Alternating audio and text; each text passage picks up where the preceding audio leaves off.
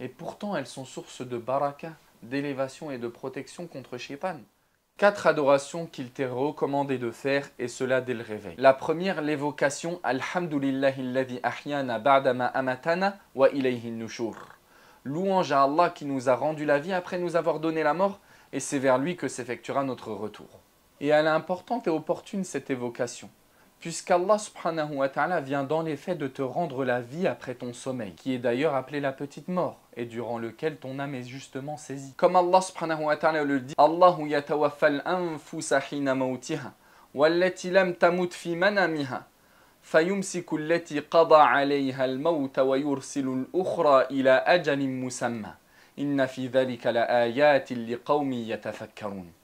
Allah recueille les âmes au moment de leur mort, ainsi que celles qui ne meurent pas au cours de leur sommeil. Il retient alors celles pour lesquelles il a décrété le trépas et renvoie les autres jusqu'à un terme bien déterminé. Il y a certes dans cela des signes pour des gens qui savent réfléchir.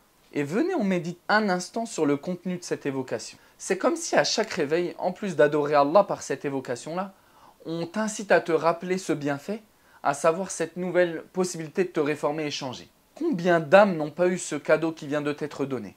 Combien de fois tu pourras encore en bénéficier? Et qui te dit justement que ce réveil ne sera pas ton dernier? Deuxièmement, se laver les mains. Prophète dit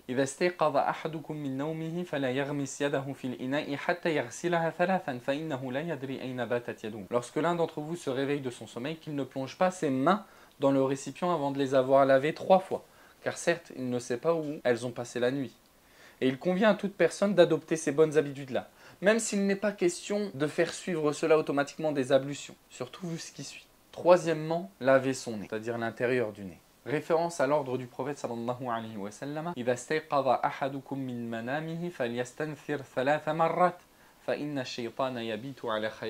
Lorsque l'un d'entre vous se réveille de son sommeil, qu'il inspire de l'eau trois fois par son nez, puis qu'il la rejette. Pourquoi? Car certes, Shaitan passe la nuit dans ses narines. Shaitan passe la nuit dans ses narines. Qu'est-ce que ça peut bien vouloir dire?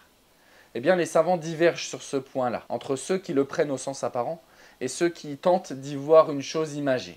Quoi qu'il en soit, il est obligatoire d'y croire, quand bien même cela nous dépasse, en se rappelant que les diables sont polymorphes. Ils peuvent prendre plusieurs apparences par la permission d'Allah subhanahu. En entendant ce hadith, qui parmi nous n'aurait pas envie de repousser Shaitan et les traces qu'il aurait laissées sur nous pendant notre sommeil? Et cela par ce simple geste, par cette simple adoration qu'est l'istinsha, le nettoyage du nez par l'inspiration d'eau et son rejet. En rappelant d'ailleurs que les savants divergent sur cette pratique. Est-ce qu'elle est obligatoire au réveil ou pas? La majorité des savants considèrent que c'est juste une recommandation bien sûr.